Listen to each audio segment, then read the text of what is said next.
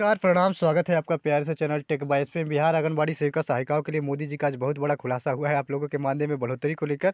तो वीडियो शुरू करने से पहले मेरा आपसे एक ही रिक्वेस्ट है, अगर आप मेरे चैनल पर अभी तक नहीं है तो प्लीज़ चैनल को लाइक कर लीजिए सब्सक्राइब कर लीजिए और वेल आइकन दबा लीजिएगा। जैसा कि आप सबको पता है कि बिहार की आंगनबाड़ी सेविका सहायिकाओं का मानदेय बढ़ोतरी को लेकर आए दिन पर डे कोई ना कोई अपडेट आती जा रही है। कहीं बात करते हैं नीतीश कुमार जी की और सम्राट चौधरी जी की तो ये लोग तो हमेशा से आप लोगों ने सुना होगा कि कई बार लाइव इंटरव्यू में फाइनली नीतीश कुमार जी ने ऐलान किया था कि आंगनबाड़ी सेविका सहायिकाओं का मानदेय बढ़ेगा।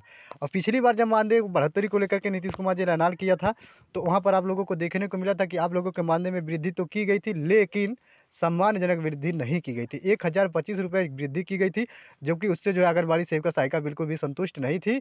और फाइनली जो है मोदी जी का और सम्राट चौधरी जी की बात कर लेते हैं तो सम्राट चौधरी जी, जैसा कि आप सबको पता है कि वो बिहार के समय नए उप मुख्यमंत्री हुए हैं वो जो है बिहार की आंगनबाड़ी सेविका, सहायिका आशा कर्मी संविदा कर्मी के हित में बहुत बड़े बड़े फैसले ले रहे हैं।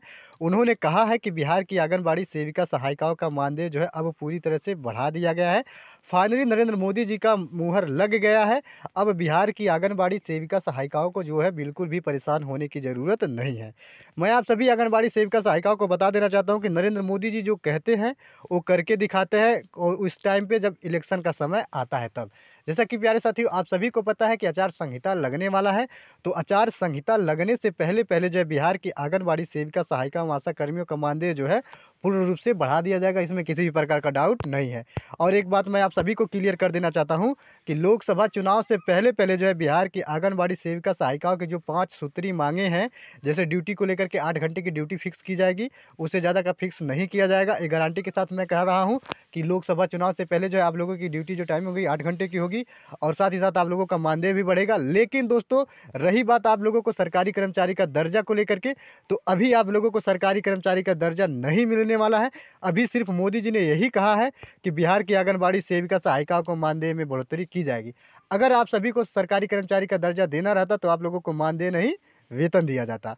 तो फाइनली आप लोग यही विचार, परामर्श मिलाइए अपने संघ से भी पता कर लीजिए कि आप लोगों के आंगनबाड़ी सेविका सहायिकाओं के मानदेय में कितनी वृद्धि हो रही है। जहाँ तक मुझे खबर निकल के आ रही है कि दोस्तों, आप लोगों की जो मांगे थी, उस पर नीतीश कुमार और प्रधानमंत्री नरेंद्र मोदी जी ने मुहर लगा दिया है कि 18 से लेकर के पच्चीस हज़ार जो सेविकाएँ हैं, उनका पच्चीस हज़ार सहायिका है तो अठारह हज़ार की सैलरी जो है बिहार सरकार को देने जा रही है। बस वित्त मंत्री की मंजूरी रहना बाकी है, बस वित्त मंत्री जी जो है, जैसे ही आप लोगों पर मुहर लगाते हैं, आप लोगों का मानदेय मिलना स्टार्ट हो जाएगा। अब रही बात वित्त मंत्री कब कब जो है आप लोगों को पास करते हैं तो मैं एक बात बता देना था जब प्रधानमंत्री जी ने कह दिया है तो वित्त मंत्री तो करेंगे ही करेंगे, हर हाल में करेंगे तो बस आप लोगों को धैर्य बना करके रहना है। आचार संहिता से पहले पहले जो है, आप सभी आंगनबाड़ी सेविका सहायिकाओं का मानदेय बढ़ा दिया जाएगा। आशा करता हूँ ये वीडियो आप सभी को पसंद आया होगा। अगर ये वीडियो आपको पसंद आया तो जाते जाते चैनल को लाइक और सब्सक्राइब कर लीजिएगा। मैं बिहार की आंगनबाड़ी सेविका सहायिकाओं से जो है, खबर लेकर के आता रहूँगा। और प्यारे साथियों, आप लोगों से मैं एक बात क्लियर कर देना चाहता हूँ कि कई सारे वीडियो में हम लोग एक ही बात को कई बार बोल देते हैं तो उससे आप लोग अपसेट मत होइएगा प्यारे साथियों। ये जो है न्यूज़ जो आती है ना, बिहार सरकार के पास पहुँचती है, सभी नेताओं के पास पहुँचती है तो उनको इससे लगता है कि बिहार की आंगनबाड़ी सेविका सहायिका जो है अपने मानदेय में बढ़ोतरी को लेकर के अभी भी बहुत परेशान है। तो इसलिए आप लोग मेरे वीडियो से थोड़ा भी नाराज़ मत होइएगा प्यारे साथियों, और फिर मेरा आपसे एक ही रिक्वेस्ट है प्लीज़ चैनल को लाइक और सब्सक्राइब करके जाइएगा।